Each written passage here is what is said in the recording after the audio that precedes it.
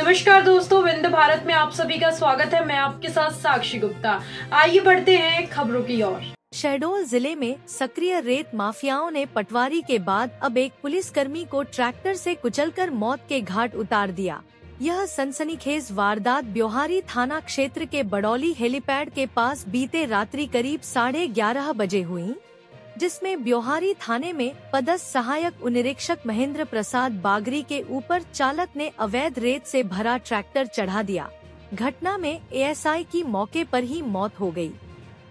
जानकारी के अनुसार बीती रात एएसआई बागरी दो अन्य पुलिसकर्मी के साथ एक फरार वारंटी को पकड़ने जा रहे थे।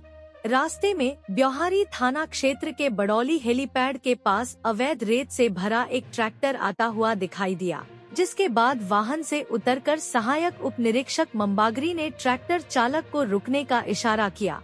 लेकिन, चालक ने भागने के प्रयास में एएसआई पर ट्रैक्टर चढ़ा दिया। इससे ट्रैक्टर अनियंत्रित होकर ट्रैक्टर पलट गया और चालक मौके से फरार हो गया।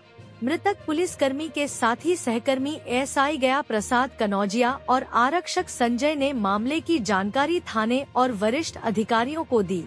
जब तक थाना स्टाफ मौके पर पहुँचा एएसआई महेंद्र की मौत हो चुकी थी। घटना की जानकारी लगने के बाद देर रात Shahdol ADGP DC Sagar, police कप्तान और वरिष्ठ अधिकारी मौके पर पहुँचे गए। वारदात में शामिल फरार ट्रैक्टर चालक को पुलिस ने कुछ घंटे के अंदर ही गिरफ़्तार कर लिया है। मृतक एएसआई के परिवार में पत्नी के अलावा तीन बेटियाँ हैं।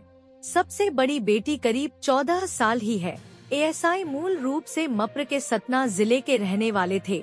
बात दे कि कुछ महीने पहले उक्त क्षेत्र में ही रेत का अवैध उत्खनन और परिवहन को रोकने पटवारी का एक दल पहुँचा था। इस दौरान रेत माफियाओं ने पटवारी को मौत के घाट उतार दिया था।